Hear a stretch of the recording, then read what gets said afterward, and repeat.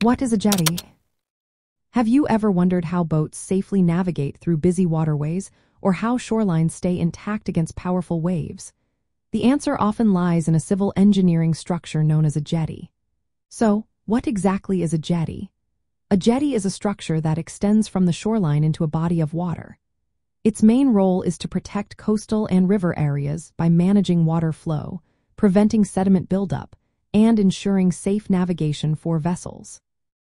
Jetties are typically found at harbor entrances, river mouths, or along coastlines. They help maintain clear and stable waterways, which is essential for safe passage. One of the key functions of a jetty is to protect navigation channels. By extending into the water, jetties help stabilize and maintain the depth of these channels. This prevents sediment from accumulating, ensuring that ships and boats can pass safely. Another important role of jetties is erosion control. They act as barriers against wave action and currents that can erode beaches or riverbanks. This helps preserve shorelines and prevents land loss, which is vital for coastal communities.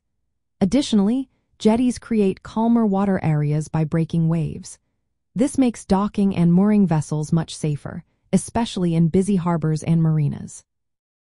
When it comes to construction, jetties are usually long and narrow. They are made from durable materials like rock, concrete, or steel. The choice of material and design depends on local conditions, such as wave and current forces, sediment transport, and the intended use of the jetty. There are different types of jetties based on their function. Entrance jetties are positioned at harbor or river entrances.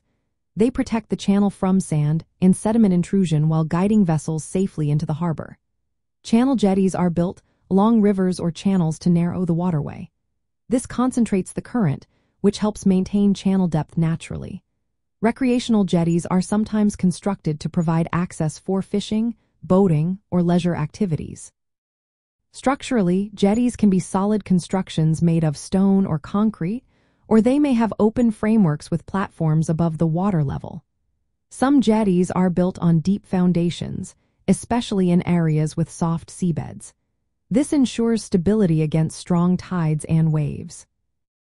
In summary, a jetty is an engineered structure designed to influence water flow, protect shorelines, and maintain navigable waterways. Its design and construction are tailored to local environmental conditions and specific civil engineering functions. Understanding jetties helps us appreciate the importance of coastal infrastructure in our everyday lives.